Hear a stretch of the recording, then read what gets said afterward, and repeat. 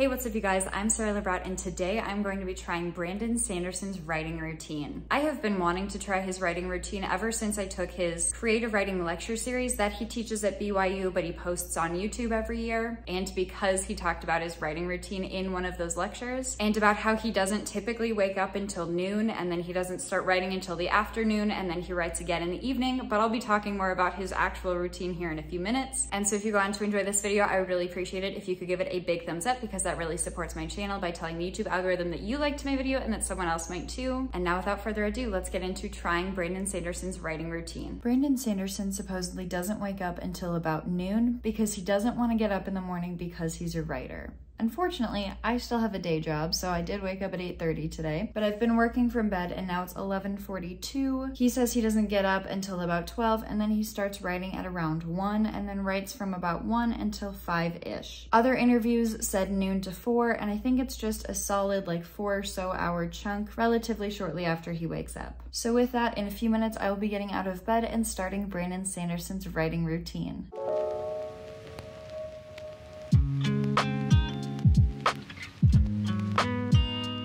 It is now 12.54. I'm gonna start writing at one. But before then, I wanted to sit down and talk a little bit more about Brandon Sanderson's writing routine and writing schedule before we really, really get into it today. I did take some time to like try and wake up more as like a person because I'm normally like an afternoon evening person anyways. I'm not a morning person. The fact that I woke up at like 8:30 this morning was not great honestly because I went to bed at 3:30 last night, which honestly is very on brand with Brandon Sanderson because he doesn't like getting up early and splits his writing into two sessions, one between 12 and 4 or 1 and 5 and then from 10 until midnight or 10 until 4 a.m. anywhere within that range, but he splits up his writing into the two sessions. And because he tends to go so late, I think that it's totally fair that I stayed up really late last night and I think that's fine. It's fine. It's fine. Definitely dragging a little bit today because of it, but hopefully I'll snap out of it here. Between his two writing sessions, he says that he will hang out with his family and do other things, which is great because right now it's cloudy, but as soon as it clears up, I will probably want to go outside and lay by the pool, as well as go hang out with some of my friends. And so I think that that is going to be a very nicely split up day with the two writing sessions. In a blog post on his website, Brandon Sanderson answered answered the question, what was your average daily word count when working as a part-time writer? Which is technically what I am right now because I'm definitely not full-time. But his answer was, I was a special case as I intentionally picked a job where I could write at work. I shot for 2,000 words a day and I suggest to new writers that 2K a week be a minimum. That gives you a book in about a year. So I think that 2,000 words a day is a very solid minimum because I'm working on draft five of my high fantasy novel and not drafting something. I think that drafting 2000 would be a little bit more difficult, but I think that with editing, I'm gonna be able to hit that no problem. But I also kind of have a job that I can write during the day because I just have to work when trips are popping up because I work for an airline. So when issues with the trips pop up, I will need to jump over and do that. But fingers are crossed that not much is gonna pop up today. But his daily word count and time goal now that he is a full-time writer is to write every day and he gives himself word count goals. He says that usually it's a 2,000 word minimum minimum or a certain page goal if revising. It varies though, 10 pages is often my goal. I will keep that in mind with today. He says that he normally hits it and sometimes does much more. He writes faster at the end of a book than at the beginning. Also, some days he writes for four or five hours and some days he writes for 14 or 16. He says that he tries to keep distractions at a minimum. He writes at night so there's less noise, which doesn't work for the day session, but will for this evening. And so considering these two kind of goals that I was able to find of a minimum of like four to five hours up upwards of like 14 or 16, which disclaimer, I don't think I'm hitting today, and writing at least 2,000 words or editing or revising at least like 10 pages or a goal of 10 pages a day. That's what we're gonna shoot for today. It just turned to be one o'clock, so let's get into the first four hour writing session.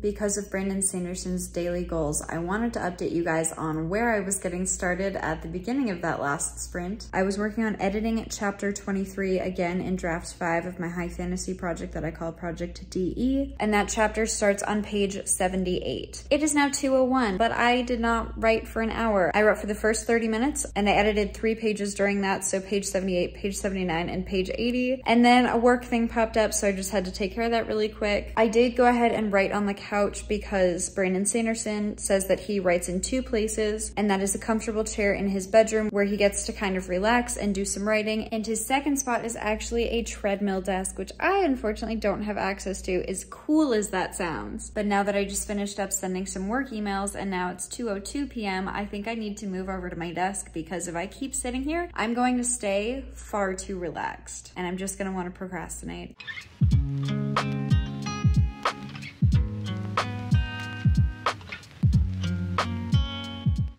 And with that, chapter 23 has been completed for draft five, which means I get to check this off nice. And this chapter ended up being 2009 words, which means I added about 150 words to this chapter, which I'm perfectly fine with. That being said, it is now 2.33. I'm kind of on a roll, so let's start the next chapter.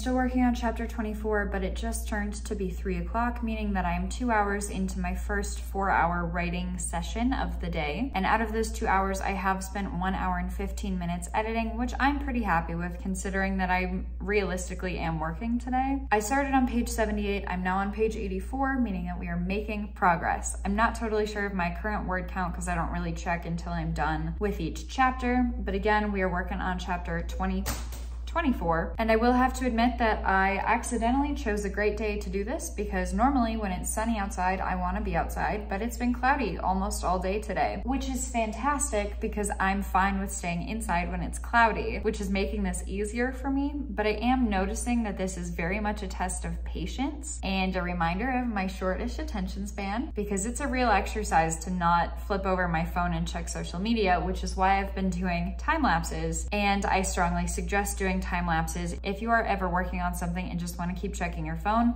time lapse whatever you're doing on your phone and it will help solve that urge because you want to watch the time lapse when it's over and in order to do that you can't interrupt the time lapse. So I am kind of using that as a trick to help limit my distractions right now but because it's 3 p.m. I am getting kind of hungry because I've only had breakfast today so I'm gonna get up and start making myself some lunch and then we're gonna sit back down and do some more.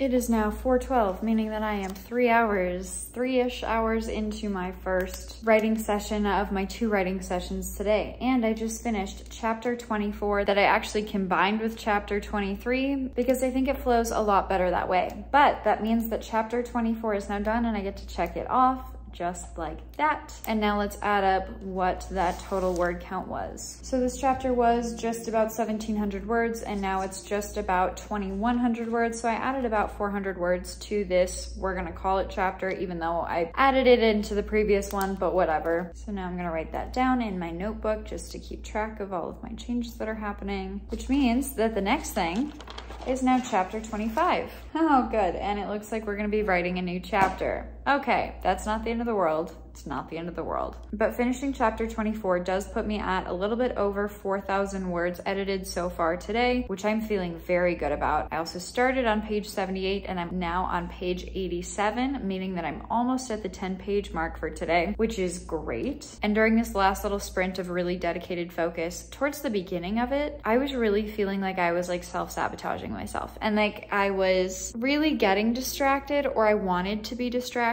And it was reminding me a lot of the limiting beliefs that I had talked through in a previous video, where it feels like I'm almost doing it intentionally because I don't fully believe that I can accomplish what I want to accomplish. But part of what Brandon Sanderson is known for and really appreciated for is his dedication to his writing and his amazing work ethic. And that work ethic that allowed him to write five books in the two years of the pandemic, for which he then started that Kickstarter with the goal of a million and then knocked that out of the park and hit like 30 million or something in 30 days in order to self-publish those novels that he had written during those two years. So he's known for his work ethic, and I think that goes without saying, even on his lighter days when he writes at least 2,000 words or he works for at least four or five hours, that's still crazy. That is so much time, and I really really admire that. And that is something that I really appreciate. And that is something that I really enjoy about making videos like this, where I'm trying other authors' writing routines and writing schedules is because making videos like this are motivation for me to stick to that person's writing routine for at least a day and really put that intentionality into the writing and really back up the writing with the intentionality of just sitting down and being loyal to the page and making sure that you are working on what you said you were going to work on and really getting to try the routine that works for somebody else. However, it just is interesting that I looked at my limiting beliefs recently and now that I feel my limiting beliefs coming up and I feel the want to self-sabotage and I want to just like numb out and watch a TV show and play Candy Crush on my phone or something and that's what I like am craving right now. Even though as soon as I finish a chapter, it feels amazing. And I do think that part of it is the limiting beliefs and I do think that part of it is more along the lines of like not keeping promises to myself in the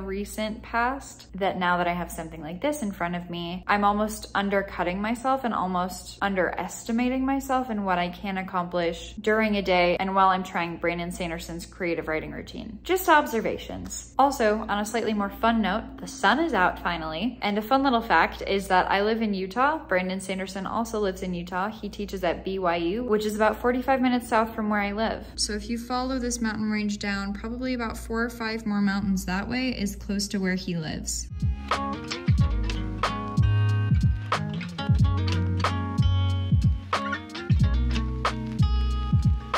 It's now five o'clock. I totally zoned out for that last like 30 or 40 minutes. So I didn't get anything done. I think I just need to be outside in the sun because I'm very distracted by the fact that it's sunny. So we're gonna go do that. That's not what I was expecting.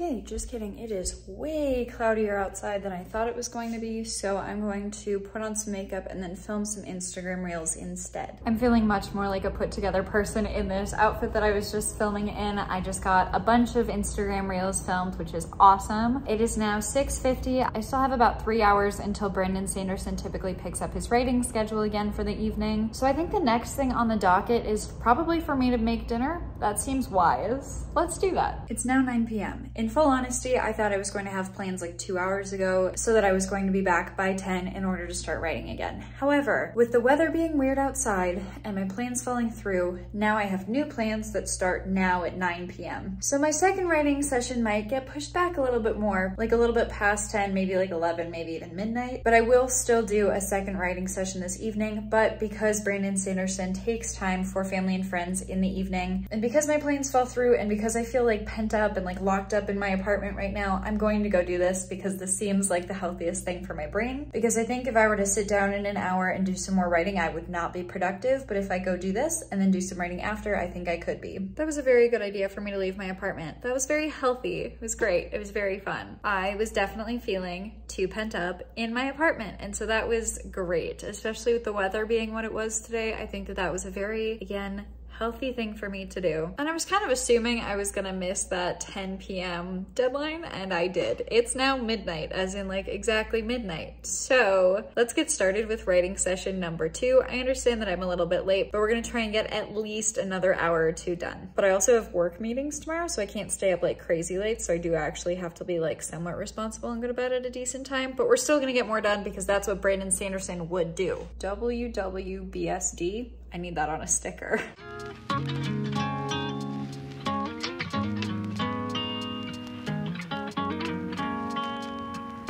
I don't know what it is, but after midnight, I just feel like much more of a person than I do earlier on in the day. And I'm looking at myself now versus what I was seeing earlier, wearing this same sweatshirt and obviously no jewelry, no makeup, but how exhausted I looked earlier today versus how I look now. And I think I look much better now. But I was also realizing that I only got like three, three and a half hours of sleep last night because I was up until 3.30 writing. And then I woke up at like 7.30 for work and then started doing things around like 8.30 for my job because I could not fall back asleep. So I've been a little delirious today and it's been kind of fun, but it is now 1.13 a.m. I am deciding to call this the end of my second writing session for today, primarily because I know I have stuff tomorrow that I need to get up and do, unfortunately. And because I did not sleep well last night, I'm rapidly losing steam to keep going. Across my two writing sessions today, I did end up having a dedicated writing time of about five hours and 15 minutes. The first writing session being four hours from 1 until 5 p.m. and then the second writing session being from midnight to 1.15. However, out of those five hours and 15 minutes, I would say based on my writing sprints that I was doing, no, I have no idea if Brandon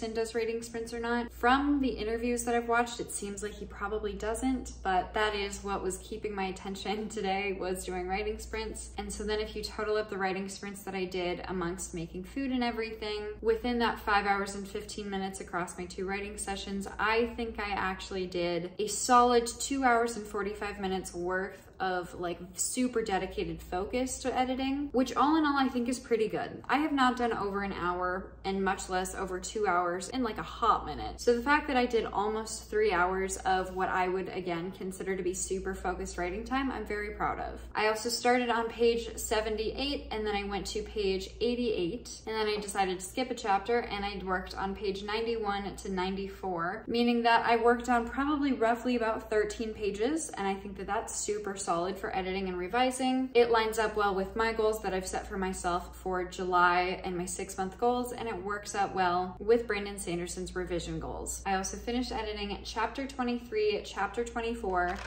and then I skipped chapter 25 and 26 and then I finished editing and combining chapter 27 and chapter 28. The last two were relatively short, but considering that I finished editing four chapters today, I just tallied it up and across those four chapters, I ended up editing 5,406 words, which again, I'm very happy with. It feels very significant. Considering that I am naturally more of a night owl and very much a nighttime writer, I really like this writing routine and I wish I didn't have stuff going on tomorrow and I wish that I had gotten better sleep last night so that I could continue to write this evening and just keep going because I think that that would be really cool. But because I normally write at night, it kind of feels like today was two separate days of writing because I got so much done earlier on today and then I still got to write this evening and it was significant significant enough, again, at like a dedicated two hours and 45 minutes, that it felt kind of like two entirely separate days of writing, which is cool because I accomplished so much that it felt like it needed to be more than just one day, but it was just one day. There are a couple things that I would take into consideration if I were to try this in the future, and I am interested in trying this really diligently for like a week and seeing how much I can accomplish, just because it seems so similar to like an ideal writing routine that I would want to have with like the dedicated amount of time split into two major writing portions, one earlier on in the day so that I can kind of get ahead of it and then one at night when I'm like really in the zone. And the first thing is that this is probably not a super consistent day-to-day -day routine for me, but I think that sprinkling a couple of these days in that are a little bit heavier on the writing and a little bit heavier on the intention of writing throughout a week would be very beneficial to my writing schedule and my writing routine, just because of the fact that I was able to edit 5,406 words tonight. That's so many. And then I would want my initial writing session to be like 11 to 3, I think, or something in there, like maybe like 11 to 2, so it could be a little bit more concentrated. And then at like 2, I could get up and make myself some lunch. And then in the evening, probably like 11 to 2 again. Maybe that's the key. I need to do 11 to 2 and 11 to 2. maybe that video is coming up. Maybe I need to try that. Because I feel like starting writing at like 12 or 1 with the intention of writing for four hours is a little too late in the day, especially because I currently have a full-time job and so I can't just write forever into the night as much as I want to do that. So it might be helpful for me to shift that forward a little bit to, like I said, like 11 to 2 and then maybe like 10 to 1 or 11 to 2 again in the evening. And I think that at least for me right now, two two to three hour dedicated writing sessions would be more beneficial for me than like two four hour writing sessions just because of my current attention span. And creativity is a muscle. I fully fully think that this can just skyrocket if you really put the intentionality into it. However, I also think that you have to have the time availability to do so. It was really annoying getting interrupted with work a couple times during this video and having to take care of that stuff. But again, it's my full-time job. I'm trying to just take that in stride and continue moving forward with it. But I was also noticing how quickly I was fatiguing and getting lazy, especially when it looked really, really nice out, starting around like 3.30 or 4, which is normally around when I go outside to like be in the pool. And so I think out of the writing routines that I've tried so far, Brandon Sanderson's is one of the ones that seems the most likely for me to incorporate into my own writing routine and my own writing schedule and actually taking parts of this writing routine and building it into my own. And that will be very interesting to see as we move forward if I continue to do this and if I continue to try to stick to this. So with that, I might have to try incorporating this into a week of writing in the future. So if you want to see that video and any other of my writing vlogs, make sure that you scroll down below, hit that big red subscribe button and that little notification bell next to it so you don't miss another upload. If you enjoyed this video, I would really appreciate it if you could give it a big thumbs up because that really supports my channel by telling the YouTube algorithm that you liked my video and that someone else might too. Thank you guys so much for watching. I really enjoyed trying Brandon Sanderson's writing routine today, and I think I learned a lot about myself and my creativity from it. So with that, thank you guys so much for watching. I'm Sara Lubratt, and I will see you in the next video. Bye. Thank